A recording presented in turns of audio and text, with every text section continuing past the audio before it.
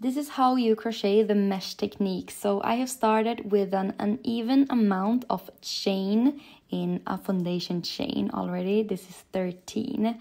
So I will count to 5 in the foundation chain and put my first double crochet.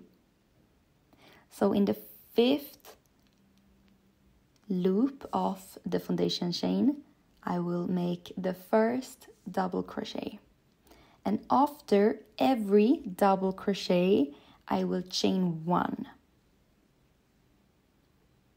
Chain one. And then I will skip the next loop and go to the next one and put the second double crochet.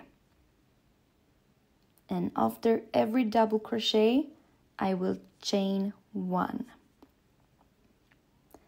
And to the third double crochet skip and go to the next one. And do the next double crochet and then chain one.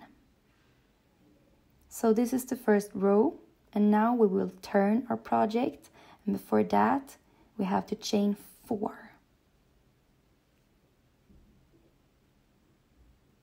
So four chain stitches and then turn and make the first double crochet.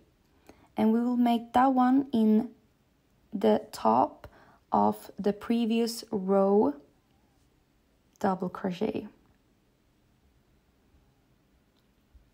And now again, chain one and continue.